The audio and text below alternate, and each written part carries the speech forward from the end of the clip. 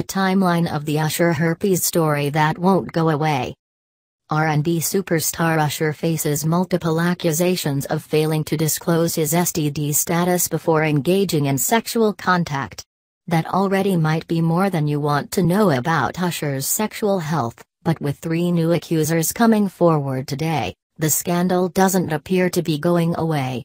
Here's a brief timeline, with as few additional unintentional herpes double entendres as we can manage. Allegations about Usher and herpes first appeared in leaked documents published July 19 by the gossip site Radar Online. The documents allegedly relate to a lawsuit filed several years ago by a woman identified only as a celebrity stylist, who claims she contracted herpes from Usher even though he had assured her he was not infected. According to her suit, Usher's doctor eventually told the woman the singer was diagnosed with herpes around 2009 or 2010. Usher reportedly paid some of the woman's medical expenses, ultimately settling the case in 2012 for a total of $1.1 million. The singer has yet to deny Radar Online's claims. Here, Usher's ex-wife Tameka Foster makes a brief appearance. As it happens, the two divorced in 2009, and Foster swiftly took to Instagram to say she's healthy everywhere and that she isn't entertaining gossip. Do not come on my page discussing rumors or adult people that have nothing to do with me, she wrote. I have been divorced eight years. Some issues are not my business. Usher married Grace Miguel in 2015. The Radar Online report evidently alarmed people who say they hooked up with Usher more recently. The first claim, reported by TMZ, was a $10 million lawsuit from an anonymous woman who said that she and Usher had sex, some of it unprotected, on two occasions in April 2017. In her suit, the woman says she would not have consented to sex had she been aware of Usher's alleged herpes status.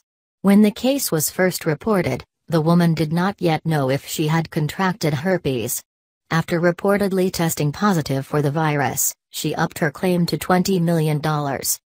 That bring us to today, when celebrity lawyer Lisa Bloom announced an imminent lawsuit on behalf of three new clients who say they had sexual contact with Usher. One of the clients is 21-year-old Quantasia Sharpton, who said she met Usher at a concert she attended for her 19th birthday. Sharpton said she tested negative for herpes, but that she would not have consented to sex with an infected partner. I would have not taken a risk of getting an incurable disease, Sharpton said at a press conference today. My health is very important to me.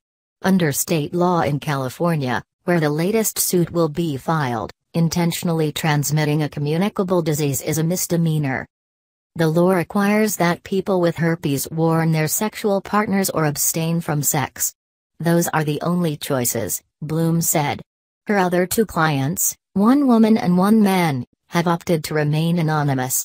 According to Bloom, at least one of them tested positive for herpes.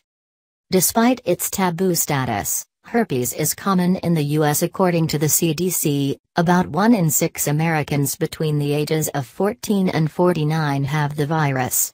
Watch Quantasia Sharpton's press conference statement below.